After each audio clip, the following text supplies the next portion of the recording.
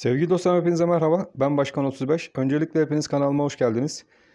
Evet sevgili dostlarım e, biliyorsunuz son videomuzda çizdiğimiz şuradaki 1900 desteğimiz oldukça iyi çalıştı. Bugün 1900 desteğine kadar aşağıya inişler altın onsta gördük.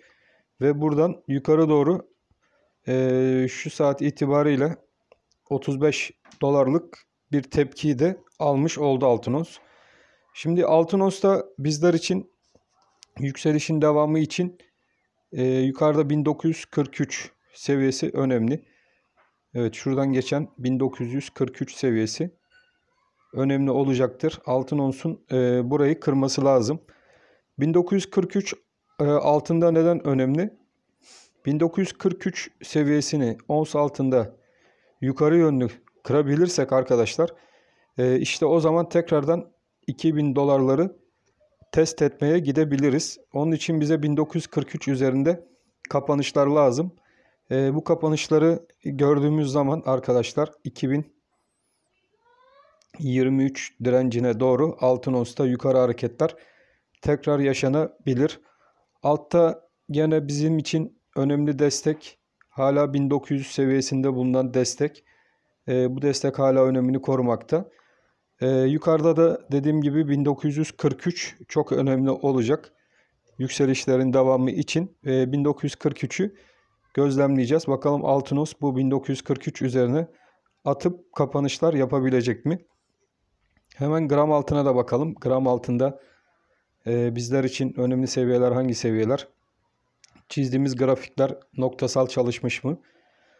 Evet gram altında da görüyorsunuz arkadaşlar çizdiğimiz grafiğin Alt kısmı gene noktasal çalışmış ve tam buradan 450 seviyesinden gram altında müthiş bir şekilde e, al sinyalini vermiş ve yukarıya e, şu saat itibariyle 459'lu seviyelere doğru e, atağını tepkisini göstermiş.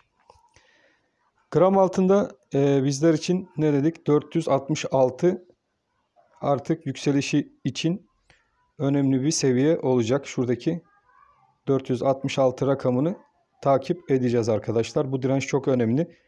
E, ee, 466 direncini yukarı yönlü kırabilirsek işte o zaman tekrardan yükseliş hareketlerine gram altında devam edebilir ve yukarıdaki 480 direncine doğru gram altında ataklar bekleyebiliriz.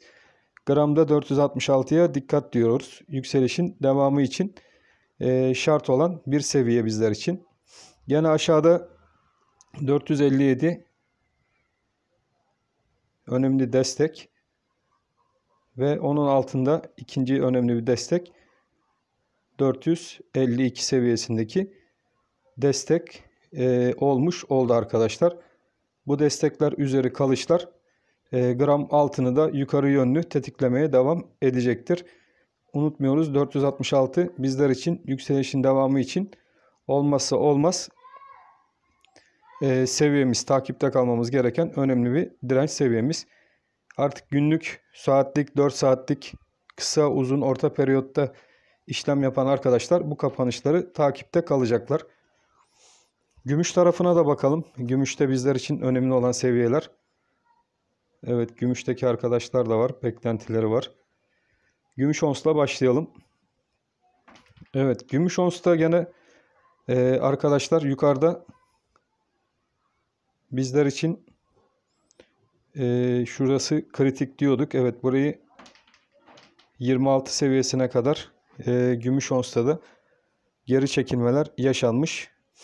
E, bizlerin de zaten vermiş olduğu gümüş onsta 25-95 altına kadar desteğine kadar geri çekilme yaşanabileceği yönündeydi.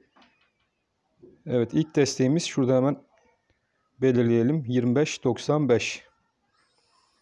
Evet ve bunun üzerinde görüyorsunuz arkadaşlar e, müthiş bir atak gerçekleştirdi ve yukarıya yönlü e, vermiş olduğumuz e, direnç seviyesine doğru özellikle şuradaki 26.52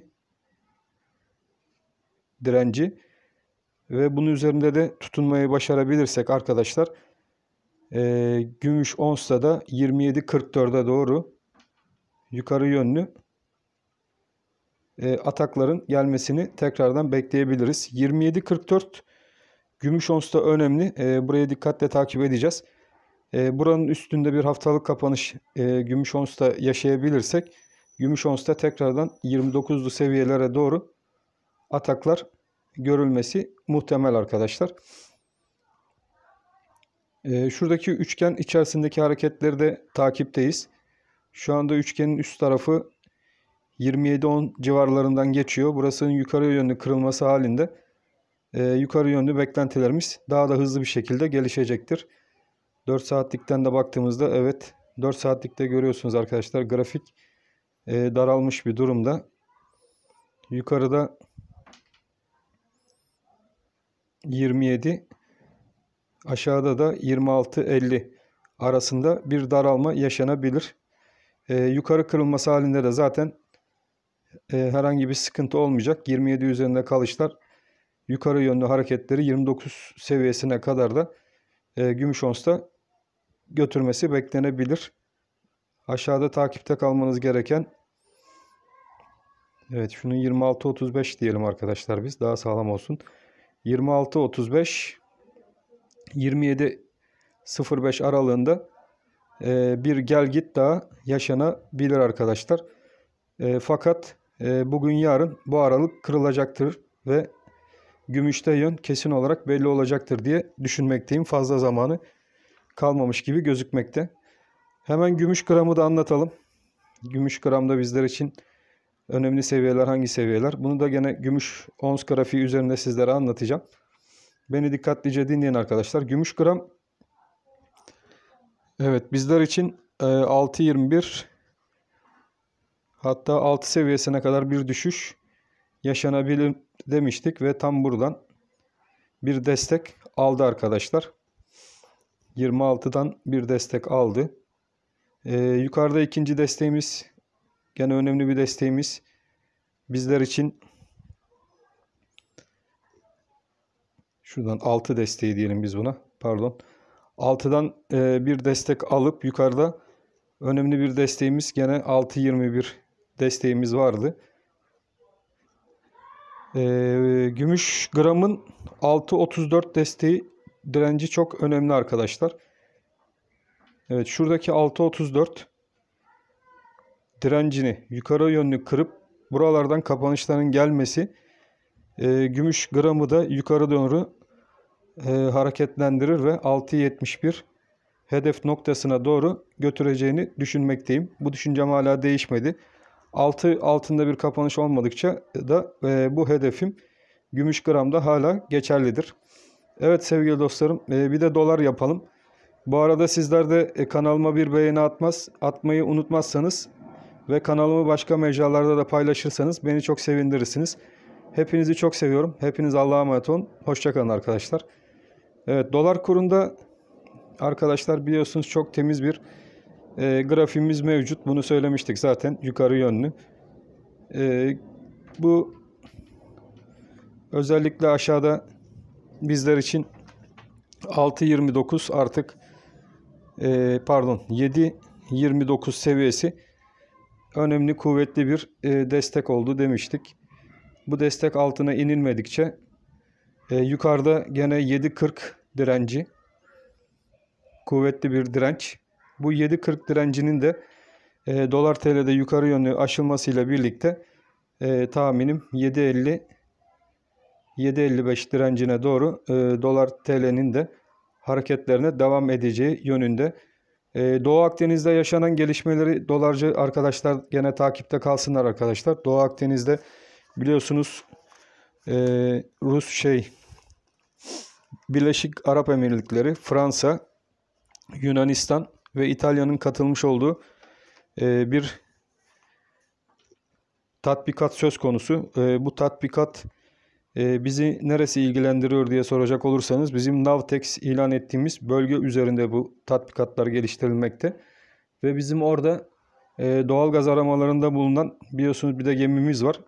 Bu gemimize e, yaklaşanlar veya Navtex ilan ettiğimiz alana giriş yapacak olan tüm gemiler bizim tarafımızdan vurulacaktır şeklinde uyarımız mevcut ve biz de e, son videomda da anlattım.